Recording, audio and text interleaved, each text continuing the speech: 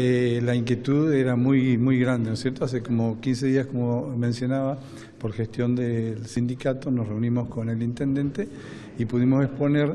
eh, en este caso, este, un protocolo que había preparado una de las zapaterías este, más importantes acá de Paraná, que finalmente fue eh, transferido a la gobernación y después a la presidencia y ha vuelto con el positivo, así que no nos queda más que agradecer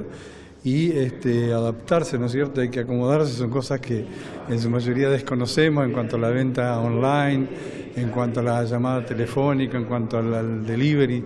Y bueno, vamos a tener que acomodarnos, un primer paso, una pequeña apertura, este, no nos va a resolver seguramente el, tema económico que viene muy, muy grave, pero por lo menos este, eh, hace una manera de arranque, incluso nos sirve para el cambio de temporada el negocio a puerta cerrada, pero poder tener una comunicación de venta, eso va a ayudar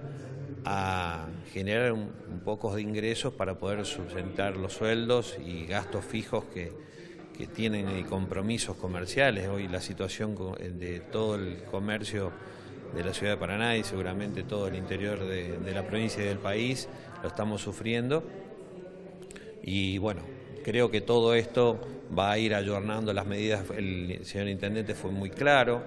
eh, lo veo como una reunión muy positiva la que tuvimos y, bueno, se va a ir viendo en, a medida de que esto genere ventas, eh, la forma de pagos también a través de, los medios de Rapipago, Pago Fácil, Entre Ríos Servicios, puedan eh, cancelar las deudas y, y adquirir también sus productos, ¿no es cierto?